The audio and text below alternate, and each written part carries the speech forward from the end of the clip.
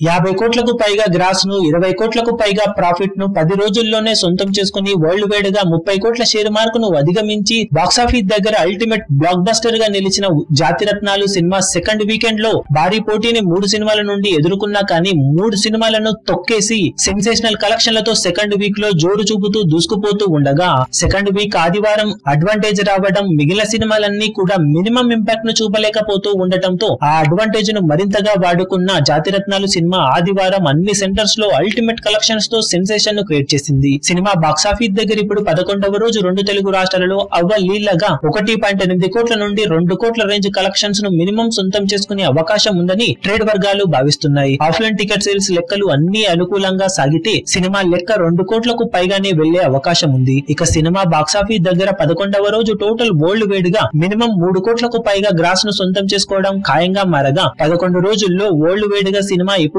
యాభై ఐదు కోట్ల గ్రాస్ మార్క్ను అధిగమించబోతుందని చెప్పవచ్చు. ఇది నిజంగానే సెన్సేషనల్ రికార్డుగా చెప్పుకోవాలి. టాలీవుడ్లో మీడియం రేంజ్ మూవీస్లో one of the most profitable movies లిస్ట్లో కూడా ఎంటర్ అయింది Jathiratnalu cinema. Second week working డేస్లో మినిమం హోల్డ్ చేసిన one of the biggest profitable మూవీస్లో కూడా ఒకటిగా నిలిచే అవకాశం పుష్కలంగా ఉంది ఈ సినిమాకు. ఇక సినిమా మొత్తం మీద పదకొండు రోజుల్లో వరల్డ్ వైడ్గా సాధించే ఏరియాల వారి కలెక్షన్ వివరాలు రిలీజ్ అవ్వాల్సి ఉంది. అవి రిలీజ్ అయిన తర్వాత వీడియో అప్డేట్లో తెలియజేస్తాం ఈ వీడియో మీకు నచ్చినట్లయితే లైక్ చేయండి షేర్ చేయండి ఛానల్ను సబ్స్క్రైబ్ చేయడం మాత్రం మరవకండి. ఏ చిన్న అప్డేట్ను మిస్ అవ్వకూడదు అనుకుంటే బెల్ ఐకాన్ను ప్రెస్ చేయండి.